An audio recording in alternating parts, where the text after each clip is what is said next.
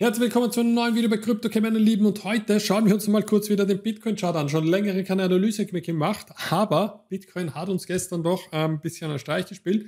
Viele Leute sind ja auch extrem schnell short gegangen über Nacht. Ja. Ähm, hat er kurz mal die 29.100 ein bisschen was angetippt ähm, aufgrund eines wichtigeren Levels, wollte wir es so nennen, und hat sich den, den, den 30k wieder zurückerobert.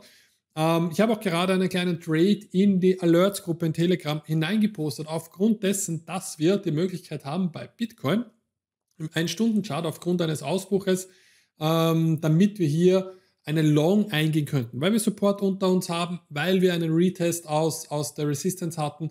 Ähm, und wenn wir das halten, haben wir die Möglichkeit auf einen kleinen Pump. Mich würde es nicht wundern, wenn wir noch einmal ein bisschen weiter pumpen. Gesamt gesehen muss ich aber ehrlich sagen, bin ich eher bearish gestimmt. Warum, weshalb, zeige ich euch auch gleich. Das ist einfach diese glasklare Divergence, die wir aktuell am Tageschart haben. Ich auch gar nicht lange herum. Wir gehen hier hinein in Screen Monitoring. Ich mache das noch einmal ein bisschen kleiner. Wir gehen hier auf den Preischart. Das heißt, egal ob ich jetzt die Kerzen ähm, heiß nehme, ja, vom Preise oder die Closes, es würde auf beides super hinpassen, ähm, weil wir haben diesen steigenden Preis, wir haben aber gleichzeitig hier diesen fallenden RSI Plus, was wir noch haben, ähm, den eindeutig auch fallenden ähm, MACD. Ja? Und das ist eben eine, eine glasklare, also ich könnte sie, gar nicht, könnte sie gar nicht besser am Chart sichtbar sein, Divergence, die vermutlich oder sehr, sehr, sehr großer Wahrscheinlichkeit ausgespielt wird. Weil ich kann mich nicht erinnern an die letzte Divergence, die so wunderbar klar am Chart war, nicht ausgespielt wurde. Ja? Deswegen eher so auf Long Term gesehen jetzt über die nächste Zeit würde es mich jetzt nicht wundern, wenn wir noch einmal ein bisschen pumpen. Das heißt, wenn wir vielleicht wirklich noch mal darauf testen, so diese 31,1, vielleicht sogar ein bisschen höher, sollten wir diese Highs mitnehmen. Ja? Also es kann ja sein, dass wir sagen, okay, wir nehmen nicht die Kerzen Schluss, sondern unser nächstes High wird darauf sein, dann sind wir irgendwo bei der 31,7, 31,8.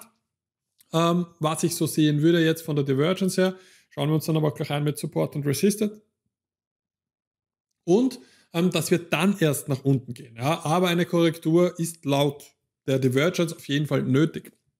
So, wie sieht es aber jetzt aus mit dem Trade, was ich vorhin gesagt habe, was eine Möglichkeit gibt? Ja? Schauen wir uns gleich an. Ich bin gespannt, wie es auch jetzt aussieht. Also ich lösche, lösche das mal hier raus. Ein Stunden-Chart. Ähm, obwohl wir ja, im Ein-Stunden-Chart eigentlich in einen wahnsinnig überverkauften, naja, ist gar nicht so überverkauft, aber in einen doch, also wir sind im 80er-Bereich, haben wir ab, angetippt, 75er-Bereich eigentlich beim RSI, also es geht eigentlich. Wir haben doch noch ein bisschen, bisschen Luft nach oben. Also, jetzt, also wir sind schon, wir sind schon überverkauft, ja, das muss ich schon sagen. Ähm, aber mich würde es nicht wundern, wenn wir hier nochmal nach oben gehen und diese Linie antippen, ähm, weil, und das zeige ich euch, und es schaut so aus, als würde das wirklich ausgespielt werden. Sorry für dieses Herumscrollen. Aber wir nehmen jetzt diese Linie hier und sehen uns das mal an. Das war hier ein Widerstand, den wir hatten, den wir angetestet haben. Einmal, da sind wir durchgebrochen und sie sind hier eigentlich wunderschön. Ähm, ihr seht hier den Retest. Wir haben mit der zweiten Kerze jetzt nochmal regetestet. Also ich habe es, wie ich es in die Gruppe geschrieben habe, war der Chart, also war der Preis gerade hier unten. Ähm, und dass wir hier die Möglichkeit haben auf einen Ausbruch. Warum? Weshalb? Weil wir gleichzeitig hier diese Supportzone auch darunter haben. Das Problem ist nur, dass wir hier eine Resistance-Zone haben. Ja? Ähm, trotzdem habe ich das reingepostet, dass wir einen kleinen kurzen Trade hier machen können, aber wir haben hier auf jeden Fall die Möglichkeit bis 30,4 beziehungsweise bis 30,570 wieder, also so wie es wir hier hatten, ähm, äh, die, dass der Preis nochmal hingeht. Aber 30,4 könnte ich hier wirklich nochmal sehen ähm, und das wäre dann doch eben je nach Hebel, aber einfach nur preistechnisch, wenn wir jetzt eingestiegen sind, 0,9 Prozent, 10x-Hebel zum Beispiel 9%, die man sich auf die Schnelle mitnehmen könnte. Oder hier einfach 50% raus, Stop-Loss, Break-Even und dann schauen, was weiter passiert. Ja? Also wunderbare Möglichkeit gerade, was hier eigentlich geschieht. Genau, dann werden wir mal hier. Was wollte ich euch noch zeigen als nächstes? Höhere Timeframe, wenn wir hineinschauen. Ja, also es gibt ein paar, so er zeigt das hier eh auch schon. Leute, wenn wir, ja, das möchte ich auch sagen, sollten wir hier wirklich diese 30,5 irgendwas nochmal überschreiten, ähm, würde es mich wirklich nicht wundern, wenn wir dann nochmal weiter in die Höhe pumpen. Ähm, wir sehen hier nämlich, da muss ich wieder hier hin, ähm, im Tageschart haben wir ja tatsächlich so die 31,9 in etwa. Also unser letztes größeres Level ist in etwa in diesem Bereich. Ja, man sieht das hier jetzt auf Support Resistance nicht, aber ich habe hier noch etwas. Da sieht man das dann nochmal sehr gut. Da sind unsere letzten Highs, ja, ähm, knapp 32. Vor allem, muss ich euch sagen, sehr cooler Indikator, Order Block Detector von Lux, ja, ähm, der zeigt uns jetzt auch nochmal hier an, wie viel Widerstand uns hier erwarten wird, ähm, bevor wir da eigentlich darüber ähm, weiter pumpen. Sollte das passieren, ihr seht hier, wir haben wirklich viel Luft.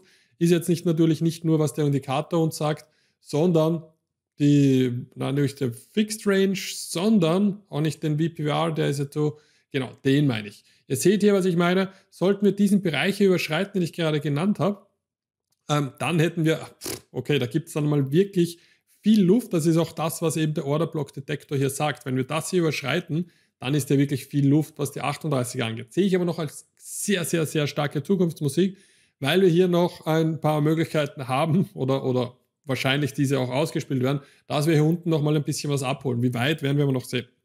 Das ist jetzt eigentlich nur mal so dieser, dieses kurze Update. Ähm, ihr seht hier, Bitcoin versucht es ja, vom Volumen-Profile hier durchzubrechen, schafft es aber leider nicht ganz. Ja. Ähm, schafft es wirklich leider nicht ganz. Ich meine, ich sage nicht leider, mir ist, für mich ist es recht, ich kann vielleicht nochmal billiger nachkaufen. Aber das ist eben das wichtige Level jetzt, 30, ich sehe es jetzt 30, 6, 25 in etwa, ähm, wo dieses Volumen liegt, wo wir eigentlich darüber müssen, damit wir Platz hätten. Und dann sehe ich den nächsten Widerstand auf jeden Fall einmal zwischen 31,568 und 32,150, außer Bitcoin sagt einfach, okay, mir ist alles egal und wir gehen jetzt irgendwo hin. Aber aufgrund der Divergence, die ich ja gerade gesagt habe, ähm, sehe ich hier eher wirklich den Preis hier vielleicht jetzt noch einmal so nach oben gehen und danach nach unten dumpen. Wie weit ist halt hier wirklich fraglich. Aber dieser Bereich, könnt ihr mir vorstellen, die ca. 25k, dass wir nochmal antesten.